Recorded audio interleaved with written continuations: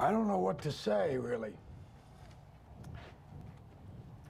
Three minutes till the biggest battle of our professional lives.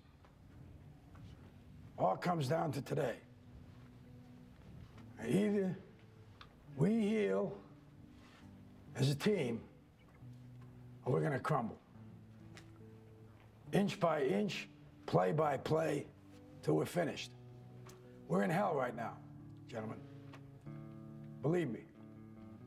And we can stay here, get the shit kicked out of us, or we can fight our way back into the light.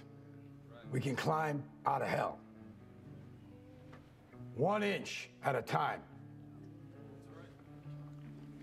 Now, I can't do it for you. I'm too old.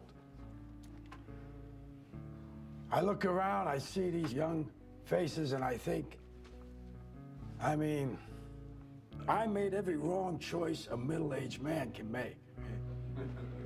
I, uh, I pissed away all my money, believe it or not. I chased off anyone who's ever loved me. And lately, I can't even stand the face I see in the mirror. You know, when you get old in life, things get taken from you. I mean, that's, that's, that's part of life. But you only learn that when you start losing stuff. You find out life's this game of inches. So is football. Because in either game, life or football, the margin for error is so small. I mean, one half a step too late or too early, and you don't quite make it. One half second too slow, too fast, you don't quite catch it. The inches we need are everywhere around us. Hell yeah. They're in every break of the game, every minute, every second. On this team, we fight for that inch. On this team, we tear ourselves and everyone else around us to pieces for that inch. We claw with our fingernails for that inch. Because we know when we add up all those inches, that's gonna make the fucking difference between winning and losing. Between living and dying.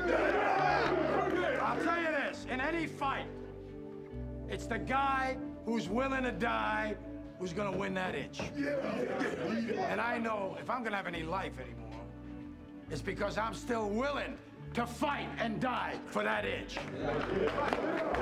Because that's what living is. The six inches in front of your face. Now, I can't make you do it. You gotta look at the guy next to you. Look into his eyes.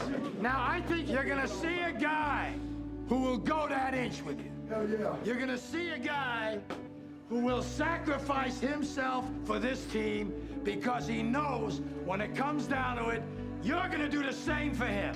Hell Right? That's a team, gentlemen. Hell yeah. And either we heal now as a team, or we will die as individuals.